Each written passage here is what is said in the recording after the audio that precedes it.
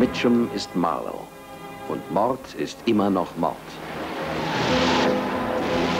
In Raymond Chandlers Tote schlafen besser. Robert Mitchum ist Philip Marlowe. Sie können einen Menschen umbringen, nicht wahr? Ich bin Privatdetektiv. Es war so ungefähr 11 Uhr morgens. Ich war frisch gewaschen, frisch rasiert und nüchtern. Und ich hatte eine Verabredung mit 10 Millionen Pfund. Sarah Miles ist Charlotte und das hat sie verdient. Jetzt werden Sie wohl auch Geld haben wollen, was? Oh ja, ich bin sogar ganz wild darauf. Für 50 Pfund am Tag.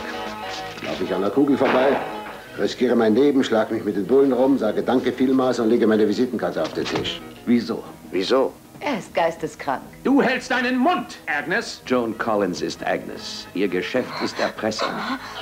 Richard Boone ist Canino. Canino ist ein Killer. Candy Clark ist Camilla. Camilla küsst.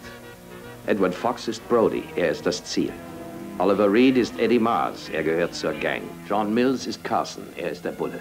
Und James Stewart ist der General. Seine Geschäfte mit Marlowe sind rein privat. Ja, ich, äh, es tut mir leid, aber es liegt sicher an der heutigen Erziehung. Sie sind süß. Und so schön männlich. Sind so sexy. Camilla kann ich gut leiden. Sie hat eine ganz schön niedliche Figur, nicht? Ja? Ich bin aber auch nicht schlecht gebaut. Ich will meine Bilder, Joe. Sie waren ja nicht gerade zimperlich, Marlow. Es sind alles Feiglinge im Vergleich zu Ihnen. Sie haben es anscheinend immer noch nicht begriffen. Ich bin Detektiv. Ich tue nicht nur so. Ich bin es tatsächlich. Kommen Sie und erleben Sie eine Geschichte über Liebe, Erpressung und Mord.